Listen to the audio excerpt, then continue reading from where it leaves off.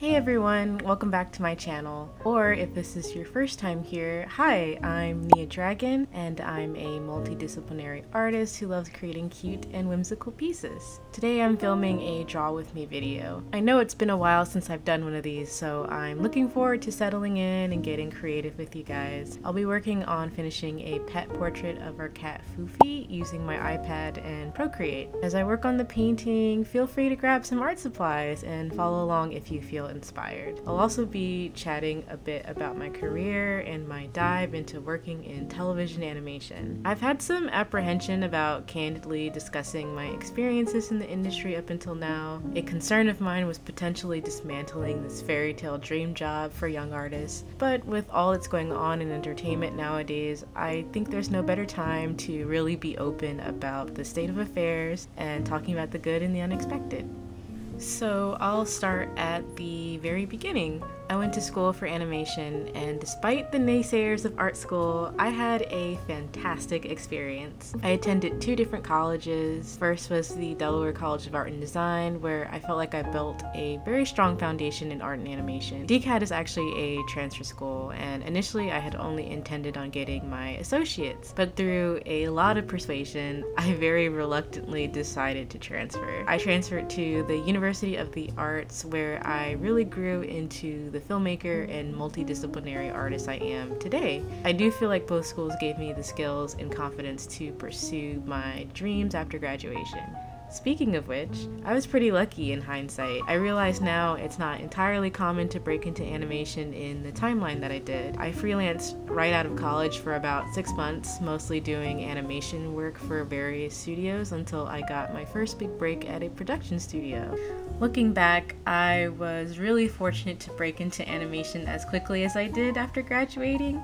I freelanced for about six months, mostly doing animation work, before getting my first big studio job. At the time, I thought six months was an eternity to wait and had started to give up hope on my animation dreams. I even scheduled an interview for Kohl's since it just was such a bleak job hunt.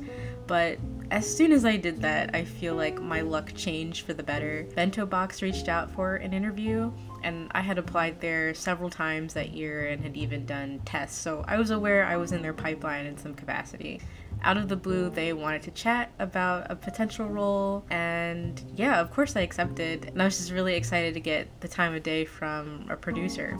My Kohl's interview was Monday, and my interview with Bento was the Thursday before. By the morning of my original Kohl's interview, I had an offer about being a compositor. So obviously, I canceled that interview with Kohl's and I was onboarding with Bento that week. The timing was unbelievable to me.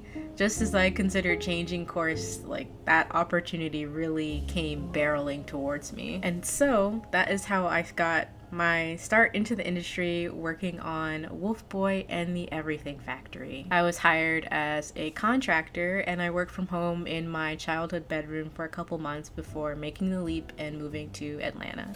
Moving to Atlanta was a pretty crazy thing to do. When I moved here, I was still a contractor and that meant I had an approaching end date. My contract was set to expire in June of 2021, and I moved in January 2021. When I initially moved, I was pretty concerned about my end date because that was literally only six months and I signed a year lease and I just wanted to be sure that I would find work after Wolf Boy and the Everything Factory had finished up. But it wasn't too long after I moved that they decided to hire me full time. So it ended up working out, but I didn't know that going into my move. I was just crossing my fingers and hoping that they would hire me full time. So after my end date, there's pretty much no guarantee of work. In animation, you can be hired full time with benefits, but when the project ends, that's pretty much it. That's all you got, unless they're interested in putting you on another show which I was lucky enough to have that happen to me time and time again for almost two years. And after almost two years of consistent work, I was finally laid off.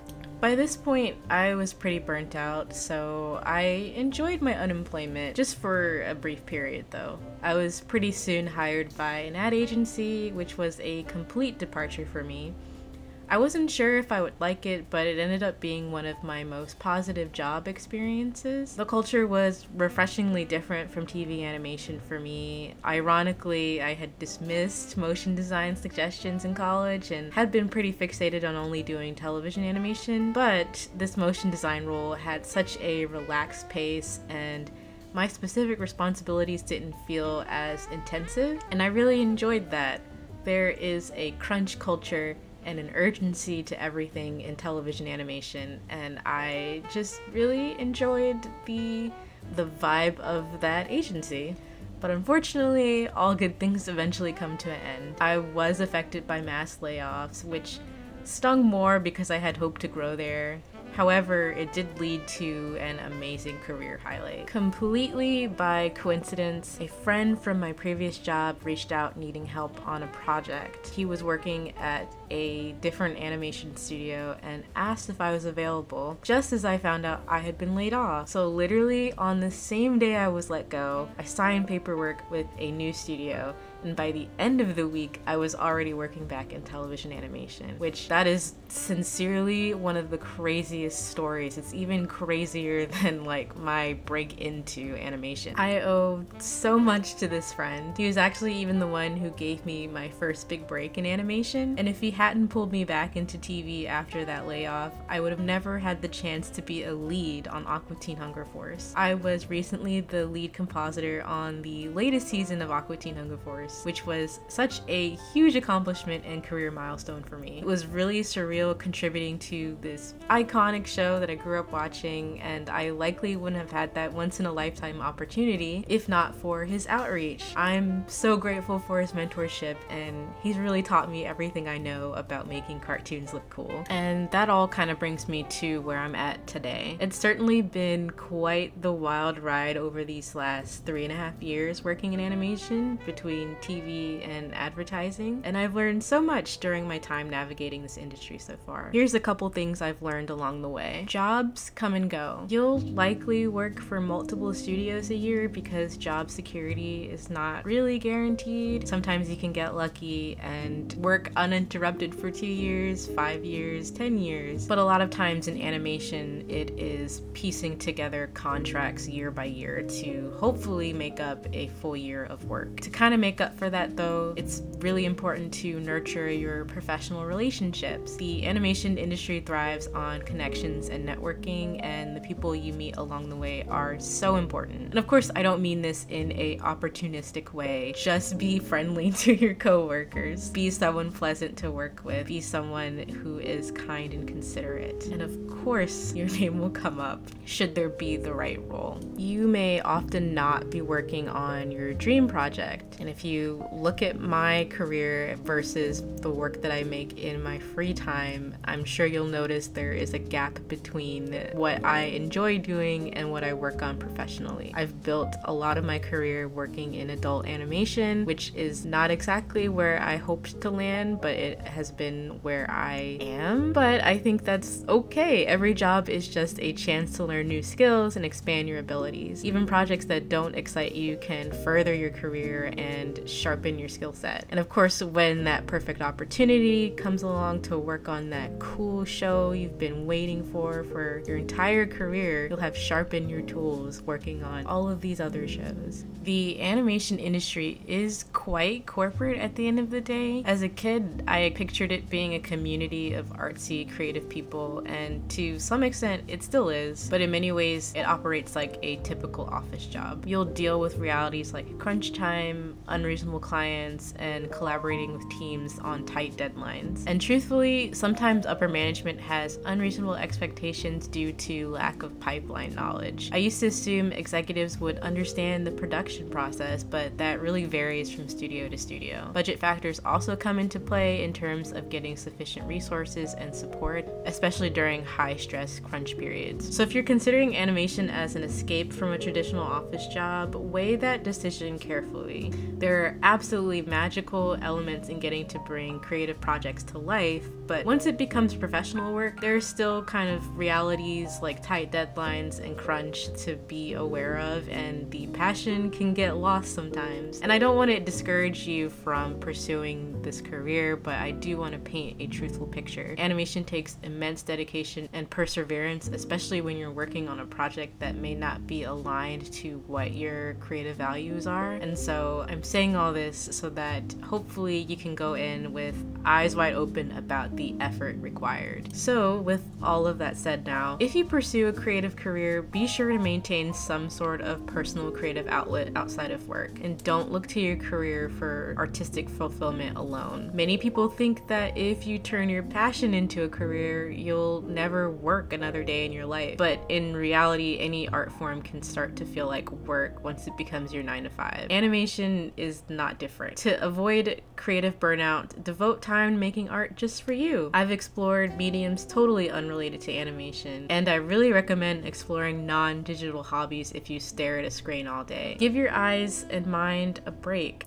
Early on in my career, I used to work really long hours and then after hours a way for me to kind of decompress was either you know scrolling on my phone or drawing something on my ipad or playing video games which these are all fine hobbies to have i don't know if scrolling is really a hobby but you know what I'm saying here? Because of the amount of screen time that I had, I was developing migraines and my eyes were really dry, and I used to have eye drops sitting on my desk. And once I started to switch up my hobbies and not spend so much time in front of a screen after work, I noticed that kind of went away. So that's why I advocate, you know, trying a non screen hobby if you can. Lastly, and this is probably the most piping hot tea that I'll share today, resilience is key to making it in animation. I know for a lot of folks observing my career and other professionals like me, you're only really seeing the tip of the iceberg. I've experienced so many false starts and rejections along the way. And there have been more than a few pivotal moments that fell through just as I thought I was finally going to live out what I thought was my dream role. It's TV animation is a really competitive industry where you have to hope to be chosen, which honestly can really mess with your head. At one point, I derived too much self-worth from my career success. Being passed over for roles I felt qualified for was honestly soul-crushing. For example, I vividly remember doing a character design test for a huge studio and being promised feedback, only to be completely ghosted. In my experience, and this is just full transparency here, the fast pace of animation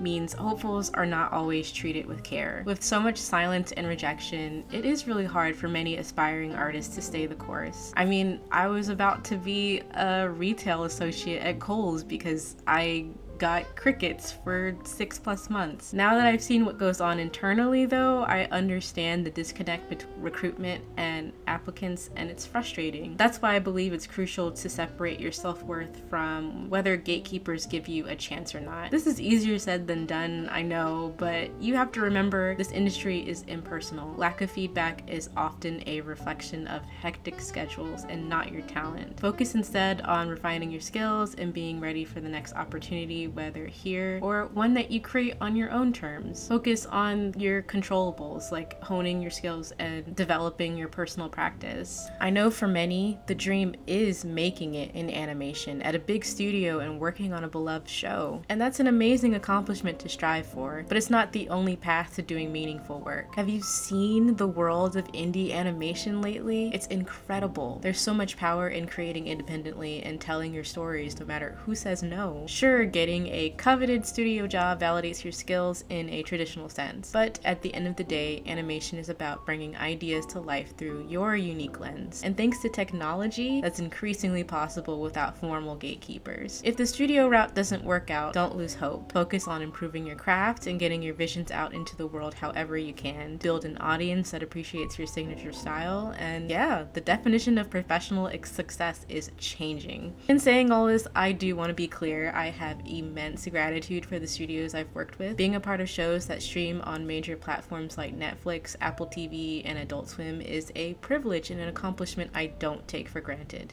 My aim is not to undermine studios, but to empower those with dreams of animation to stay resilient. So, yeah, that's about it. I just wanted to share some of my personal thoughts and stories on working in animation, even though opening up is not always easy. Obviously, everything that I talked about today is a bit more general. Every show is different and unique with its challenges, but these are some observations that I feel are consistent through all of my professional experiences. I think it's valuable to have honest conversations about experiences in the industry because there isn't a lot of transparent information online. And honestly, it wasn't so long ago that I was searching for people's authentic stories about their careers in animation. So, by being open about my own path, hopefully I can help others get a realistic preview of what this field is like. If you'd ever be interested in a more specific Q&A video though, I'd be happy to do so and you can leave any questions you may have for me down below. And yeah, that's all for this video. I hope this was insightful and until next time, bye guys!